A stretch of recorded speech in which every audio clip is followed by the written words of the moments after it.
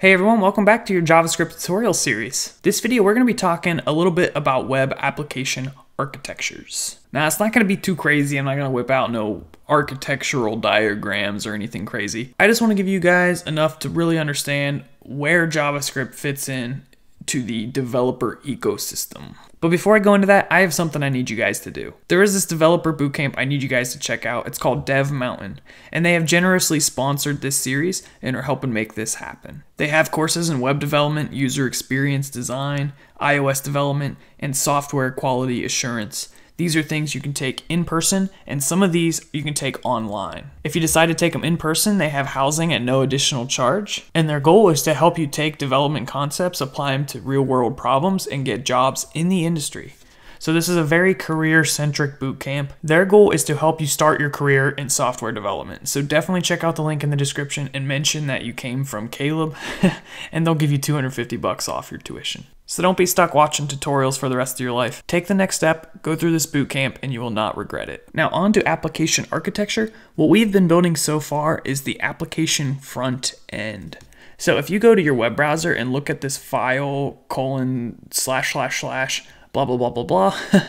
and we're literally just opening a file on our local computer. We're not using a web server. Sometimes when you're developing, you'll see something like localhost. And the way that works is you're feeding your files through a web server. And it's it's basically simulating the environment you would get when you go to a website. So for example, when I go to calebcurry.com, I am making a request to a web server. So when you go to this website, you're making a request to a server. And the server is basically listening for incoming requests. And when it gets a request, it sends a bunch of files down to the client. We're the client here because we're requesting this content. All of the stuff we're seeing here is part of the front end. The back end is what's responsible for communicating with the database. So I can't just go to this website and start editing blogs and deleting stuff, not without some server side processing. So consider the server like this gatekeeper between the front end pretty content stuff and the very serious database stuff. The back end can be programmed in basically anything. This is PHP. If I was to build an app from scratch, I would consider JavaScript. You could also use something like C Sharp. Whatever it is, it doesn't really matter. All you need to know is that that is definitely different than the front end. The front end consists of JavaScript, HTML, and CSS, and I like to tinker around using this inspect capability. One thing that's super important to know is that all of the stuff on the front end is not secure. It's completely accessible to the user. All of it is visible right here. All the code, boom, right here. See these scripts? Yeah, you can right click, open a new tab. Look at that bunch of scripts. So you definitely don't want to be storing anything secure in JavaScript. The other thing is that everything is editable. So for example, I can go to this email address button, I can inspect that, and it comes up right here. And you can see there's this attribute type equals text. I could go in here and change it to password, for example. And now all of our content is supposedly hidden.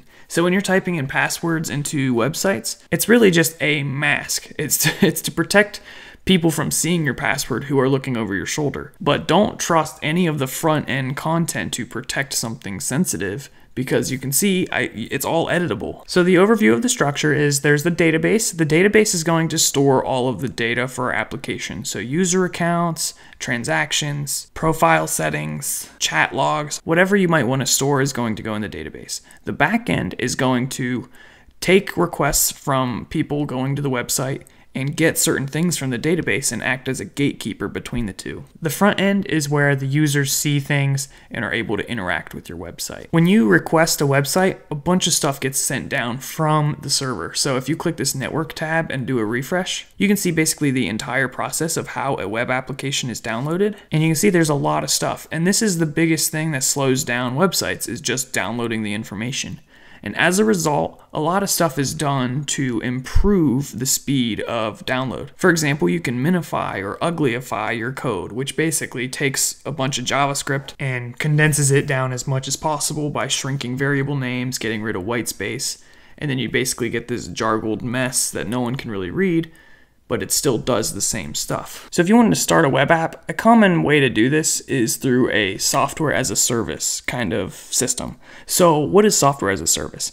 Basically, if you go to a website and you sign up and you're paying like a monthly fee to access their content and their website, that is software as a service. And typically, this is going to be stored on some kind of platform that offers hosting for these websites. So some of the most common ones are AWS or Amazon Web Services. There's Microsoft Azure, there's the IBM Cloud, and a variety of other ones out there. This is if you really need fine tuning of your website and a lot of other capabilities. Sometimes it's cool just to go to a really simple shared hosting platform like Bluehost. This you can pay a couple bucks a month and you get a PHP website up and running. What you choose is up to you, but right now in the series, I'm not really interested in talking about deploying an application.